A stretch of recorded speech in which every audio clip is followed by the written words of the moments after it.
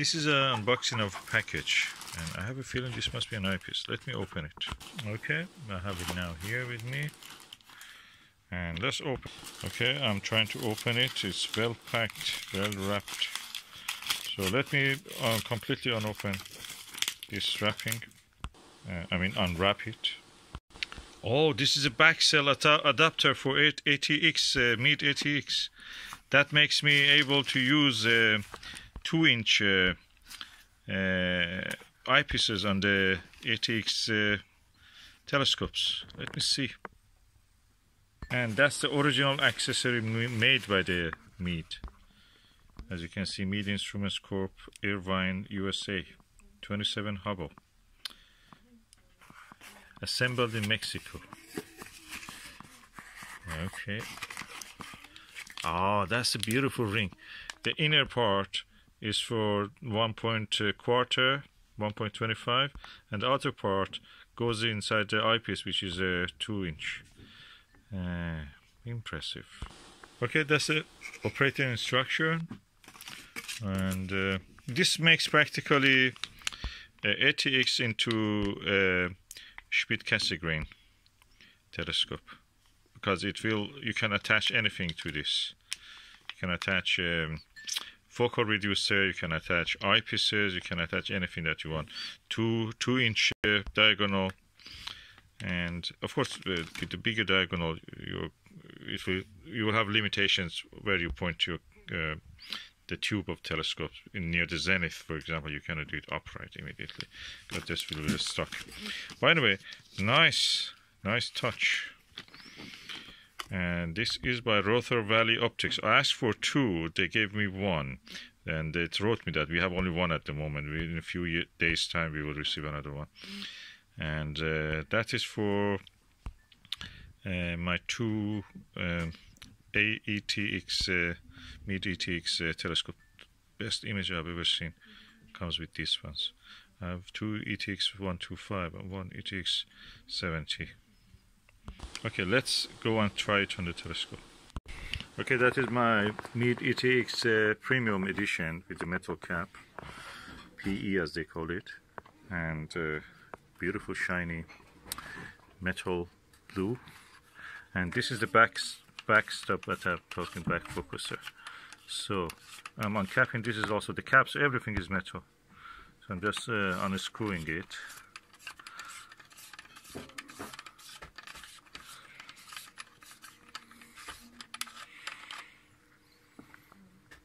And this is the focuser. I'm putting it uh, I mean this is a backstop focuser. And as you can see easily fits into this. And I will bring the eyepiece and I'll show you that it easily goes there.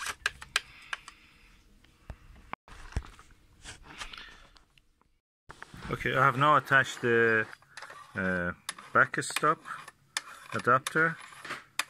So inner ring is 1.25 inch and outer ring is 2 inch.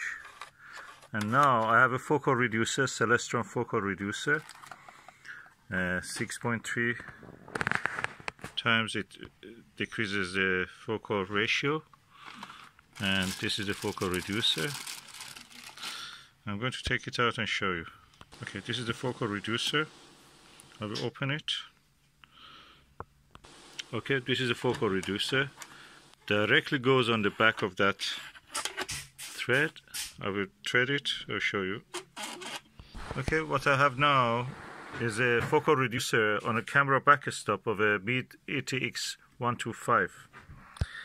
And now it's like a Schmidt-Cassegrain instead of being like a Maksutov. Maksutov, very good planetary telescopes. Now it, I can use it both as a planetary telescope from this eyepiece position and as a Schmidt-Cassegrain uh, short focal length with this one. Let me attach an eyepiece and eyepiece holder to this and diagonal. This is a Baader, Baader Planetarium um, 2 inch uh, um, diagonal and let's see if we can attach it to this. Okay, I have attached now the uh, the Meade uh, adapter, then the focal reducer Celestron one, and then with that I can attach now this uh, screen uh, diagonal uh, focuser, diagonal barrel uh, focuser. And then with that, the focuser goes in, the diagonal, sorry.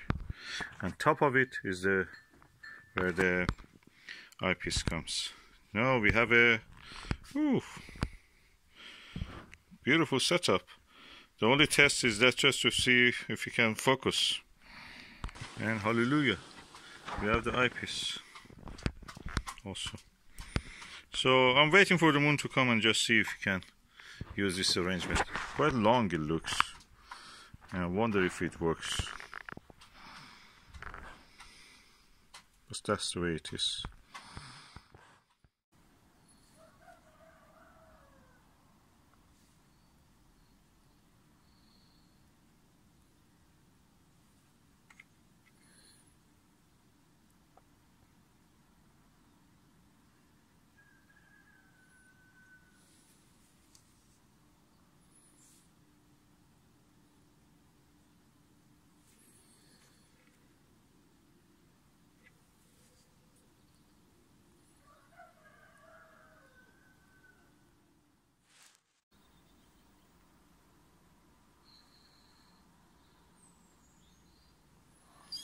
There is a crater here called um, Nasireddin. That's the crater which I'm now zooming on it. Tiny one at the end of the three craters which are joined together. It's called Nasireddin after the Iranian astronomer.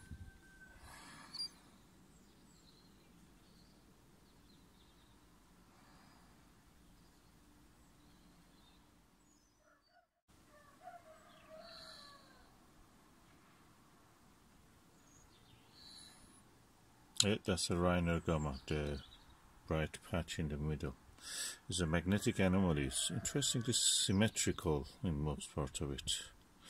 But uh, there is a tail of it like a handle of a pan which goes upward, or a golf handle. Golf club handle.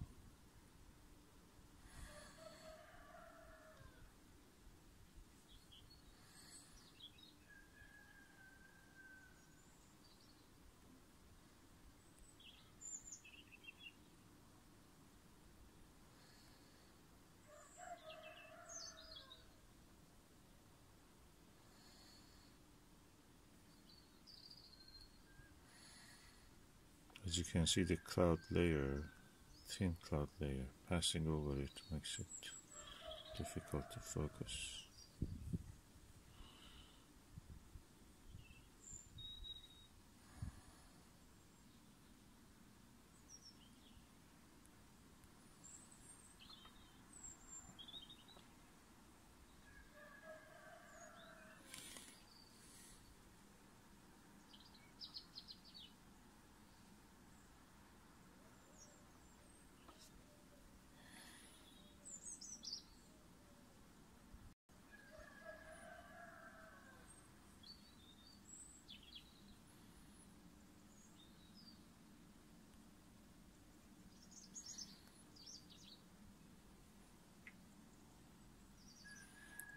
Yeah, Reiner now is on to the right.